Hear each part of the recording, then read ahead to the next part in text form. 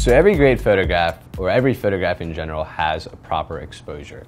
The proper exposure is, is pretty obvious. It's just uh, making sure everything, or whatever your subject is, is lit well. There are three ways you can control your exposure, uh, and it's basically a balance of these three equations. It's your ISO, which is your grain quality, it's the overall quality of your image, uh, your shutter speed, which is how fast the shutter is staying open and closing, exposing uh, the sensor in your camera behind it, and your aperture, which is how wide the opening in your lens is, how much light it's letting in.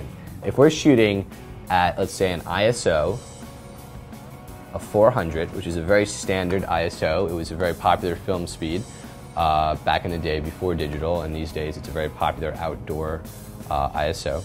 Let's say you're shooting at ISO 400 uh, and you're shooting at f 2.8, so very open amount of space in your lens, there's a lot of light coming in, and you're shooting at 1 500th of a second.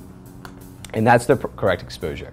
Let's say I'm taking a picture of my dog outside. I like the way my dog looks, but I want to get more of the background in focus. What can I do to do that?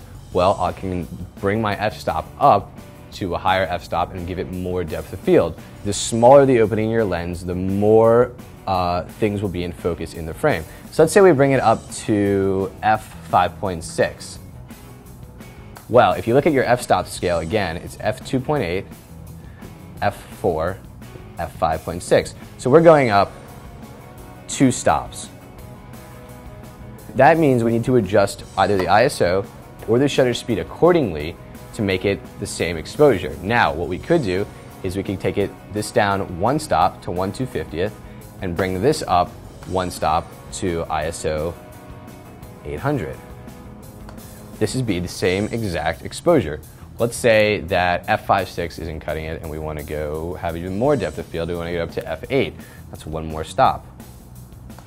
Do the same thing. We can bring this down one more, or we can bring that down one more. So let's say we bring uh, this down to 1 125th and keep this at 800.